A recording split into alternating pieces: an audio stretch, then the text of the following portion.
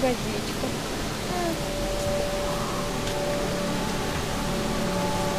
Что, хочется поделиться а, своим опытом погружения в холодную воду.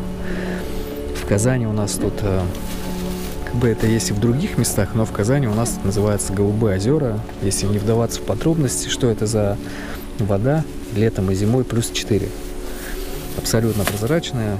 Погружаться я начал в позапрошлом году. Мы ездили с Региной вдвоем. А, Поплавал я там секунд 15, и казалось, что вода просто ледяная.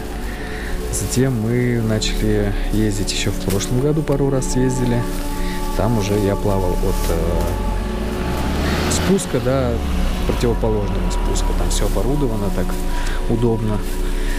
Туда-сюда, туда-сюда плавал. Затем я решил, что буду плавать по две минуты. Какие мои личные советы? Естественно, это нужно себе ответить на вопрос, зачем это нужно. Это нужно для проверить себя как на силу воли или все-таки для здоровья.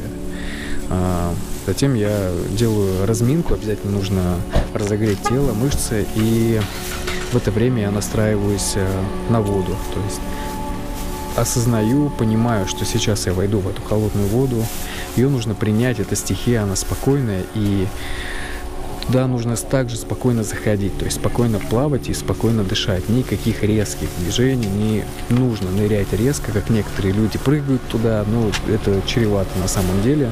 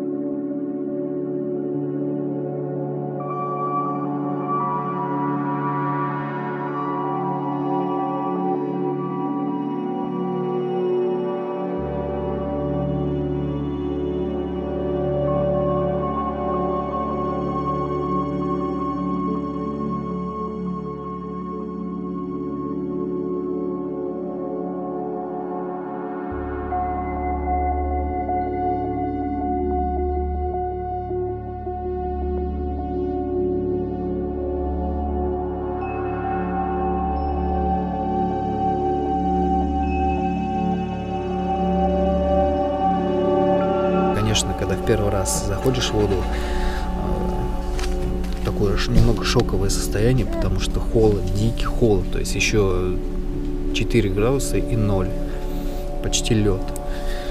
Вот, и просто нужно думать э, о том, э, что будет после того, как мы выйдем из воды. А Состояние будет просто потрясающее, свежее, то есть все всякие мысли левые уйдут. Состояние такое здесь и сейчас, абсолютно здесь и сейчас. В этот раз намного проще. Ну, даже не хотелось выходить. И не так дрожу.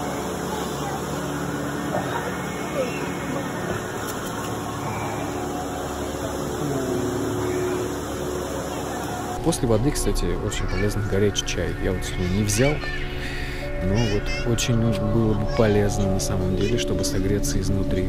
Регина сегодня ныряла. Какая молодец.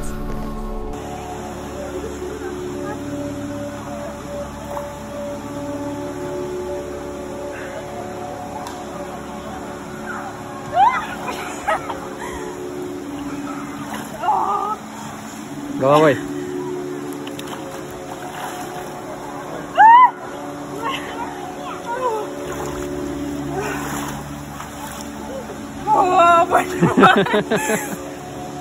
아